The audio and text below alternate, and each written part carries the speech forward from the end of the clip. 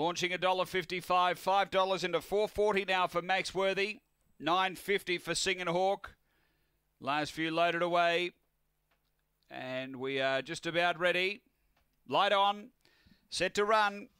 Race two, Gawler Greyhounds. We're ready. Racing.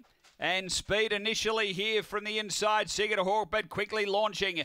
Gets over and darts right away. Out by five down the back over Singing Hawk. The outside, Fred Regis. And then Mary and Max Worthy. Destiny Lima striking Jewel and Hayride Florin, but burning along launching. Comes to the bend, seven in front over Singing Hawk, Fred Regis and Max Worthy. And launching goes on to win it well.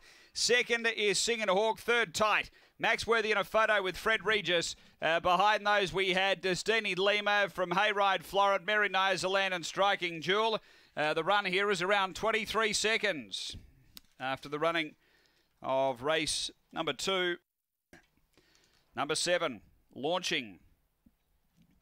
He was able to get up and around and uh, put them away early. It's seven from one. Uh, four is third and fourth home, number six. Launching number seven, Carol Scott. C. Scott D. Mater, a light brindle and white dog, May 2016. Fernando Bale hopes up, number seven.